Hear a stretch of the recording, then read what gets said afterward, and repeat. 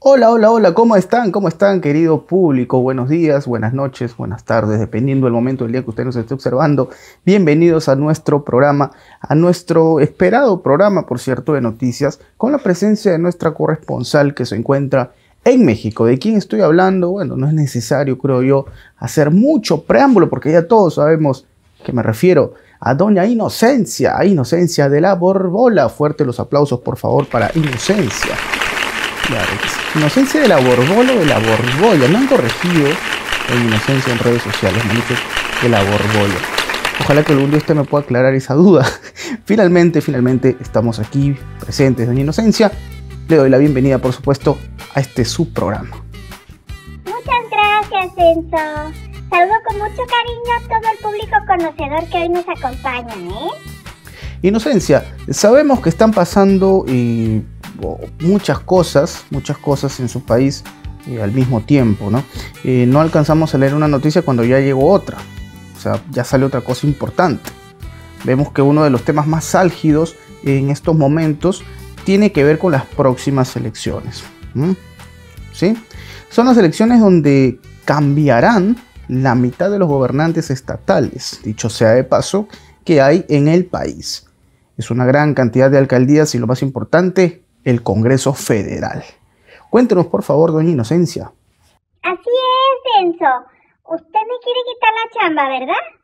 Ya me lo caché. Pero le recuerdo que nuestro país vive una tragedia, ¿eh? Como le dijera, una tragedia selectiva. O sea, es de un grupo selecto, pues. Del grupo importante del país, de la gente que vale la pena, para que le quede claro, ¿eh? No es cualquier tragedia, ¿eh? Quiero ser muy enfática en esto. Y obviamente estamos muy preocupados porque estas elecciones son una de las más importantes que hemos tenido. Sí, sí, sí. Ok, ¿y por qué para ustedes es tan importante ganar estas elecciones? Ya se lo había dicho, no queremos a este señor. No nos deja gobernar a nosotros, fíjese. No piensen otra cosa más que en el pueblo. No. ¿En dónde se ha visto eso? Ahora, queremos ganar todo, sí, lógico. Pero lo que más nos interesa es el Congreso. Mm, el Congreso. ¿Por qué el Congreso? Cuéntenos. ¿Qué hay detrás de eso? Pues porque ahí está el dinero. Que ese lo está dilapidando en la gente. Como si la gente le fuera a dar dinero a él. Hágame favor. O sea, todo al revés. Nos urge quitarle a la mayoría y entorpecer todo lo que podamos su gobierno. Porque además quiere gastar el dinero en obras monumentales. ¡Nuestro dinero! Por eso tenemos que ganarle y no entendemos por qué la gente lo sigue queriendo tanto. No lo entendemos. Pues, ¿no será por eso inocencia? Tal vez. Sea, yo tengo entendido que no ha pedido un centavo de deuda desde que llegó a, eh, al poder y que eh, la moneda no se ha devaluado, ¿no? O sea, como siempre ocurría por lo general. O sea, es lo que yo sé, lo que me he enterado, he indagado por ahí por las redes. También supimos que, que aumentaron los salarios, Algo que no ocurría hace 40 años, cuatro décadas, nada menos. No ha subido el precio de la luz ni la gasolina y tampoco incrementaron los impuestos. ¿Estoy equivocado? ¿Es verdad lo que digo? Ese es el problema, ¿eh? Desde que entró está en campaña, haciendo esa propaganda. A ver, a ver, un segundito, perdóneme, perdone que interrumpa su voz melodiosa, esa voz que usted tiene que es el canto de un pájaro, pajarito así pequeñito, no tan agudo. ¿Cómo que propaganda? O sea, vamos por partes. Estos son actos del gobierno, ¿no? O sea, propaganda es decirlo y no cumplirlo, ¿no?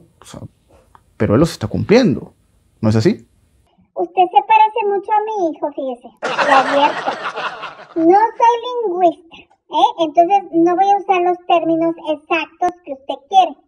Ahora, déjeme decirle, sí son actos de gobierno, pero son populistas, ¿estamos de acuerdo? Y todo lo populista es malo. Eso me lo dijo desde chiquita, lo sé, desde chiquita. Ok, mejor avancemos, mejor avancemos.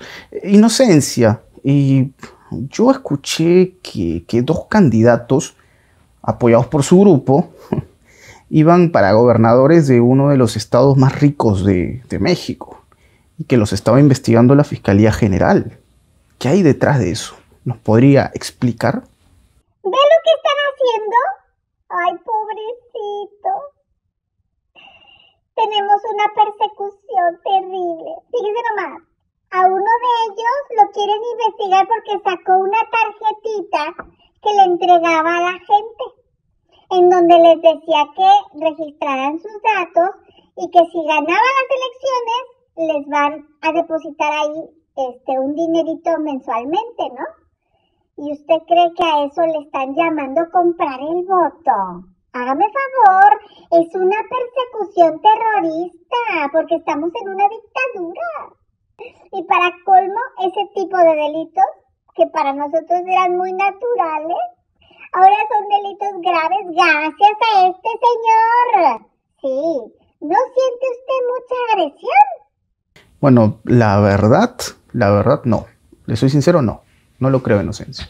Y yo creo que es una forma muy burda de comprar votos y, y el otro candidato, ¿qué hizo? Por favor, cuénteme. No, a ese le están haciendo una historia peor. A ese lo quieren investigar, pero por tonto. Fíjese nomás.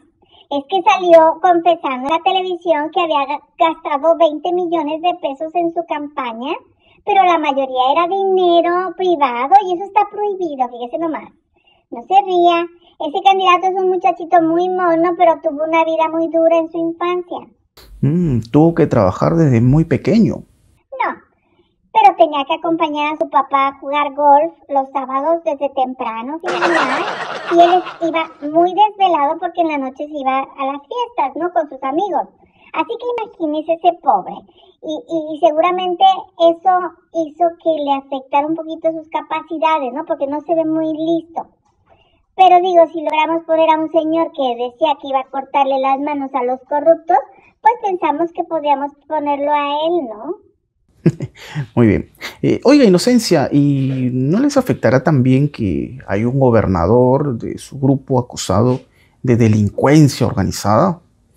Mm, y que además acaba de huir a los Estados Unidos. ¿Mm? Ay, no creo, no, no.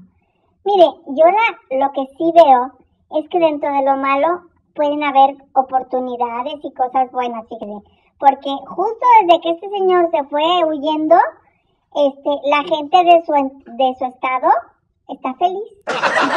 Sí, gusta, ¿no? Pasar de la noche a la mañana de, de vivir aterrorizado a estar contento. Hoy son como bipolares, ¿no? La gente, sí. Ya no saben con qué llama la atención. Pero creo que eso puede ser bueno para nosotros, porque, pues como quiera, él era nuestro gobernador, entonces él de alguna manera los hizo felices, ¿no? Oh, claro. Válgame Dios, inocencia. Qué historia, qué historia. Bueno, lamentablemente el tiempo se nos ha acabado, pero no se preocupe que seguiremos hablando de este y otros temas de muchísimo, muchísimo interés. Muchas gracias por su atención, muchas gracias, inocencia, y hasta pronto. See you later. Hasta pronto. Hasta mañana.